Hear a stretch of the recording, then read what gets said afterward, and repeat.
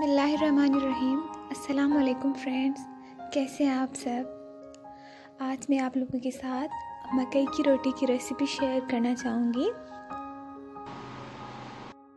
रोटी बनाने के लिए हमें जिन अज्जा की ज़रूरत पड़ेगी, वो ये है।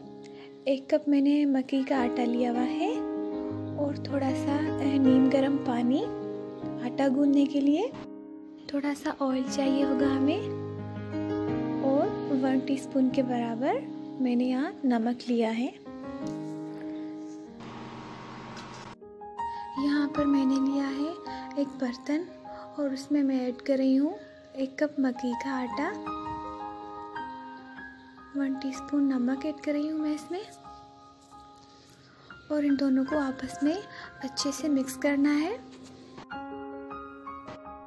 और अब मैं इसमें शामिल करूँगी थोड़ा सा पानी। और उसके बाद हमने अच्छे से इसका आटा गूंद लेना है। याद रहे, आपने बिल्कुल नीम गर्म पानी के साथ इसका आटा गूंदना है।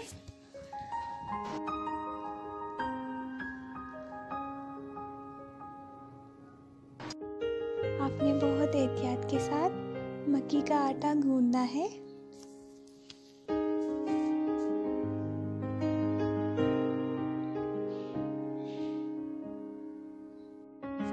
10 मिनट के लिए हम इसको रेस्ट करने के लिए छोड़ देंगे।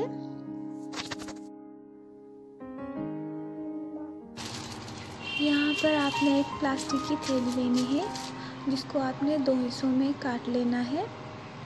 और उसके बाद थैली की दोनों साइड्स को आपने ऑयल लगाना है। अच्छे से ऑयल लगाना है।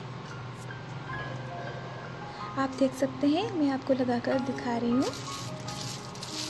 ये देखें। ये मैंने एक साइड को लगा लिया और इसी तरह मैंने इसकी दूसरी साइड को भी ऑयल लगा लेना है।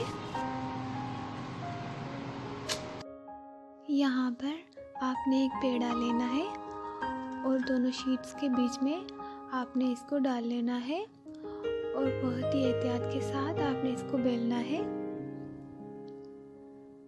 बहुत एहतियात के साथ आपने इसको बेलना है।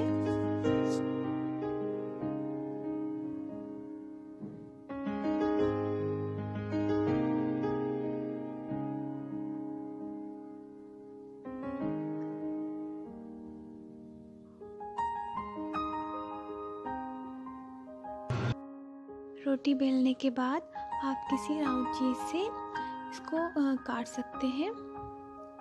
आप अगर इसको गोल शेप देना चाहें तो यहाँ मैं ले रही हूँ एक बाउल का ढक्कन। उसी के साथ मैं इसको राउंड शेप देना चाह रही हूँ। आप देख सकते हैं।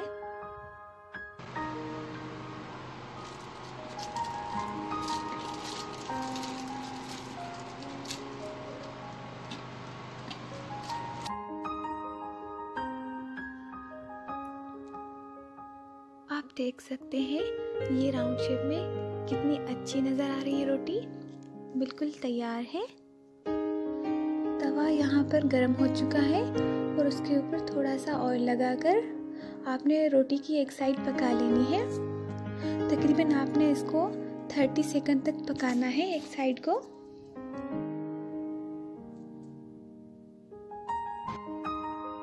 और ऊपर से भी आपने थोड़ा सा ऑयल लगा लेना है रोटी को।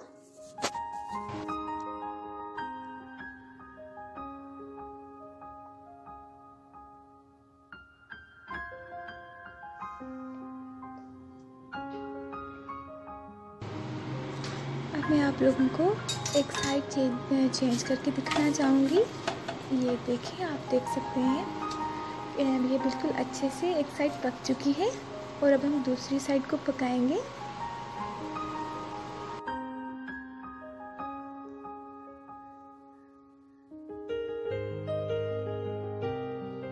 तो जी, ये रही हमारी दूसरी साइड आपने बहुत ही एहतियात के साथ इस रोटी को पकाना है।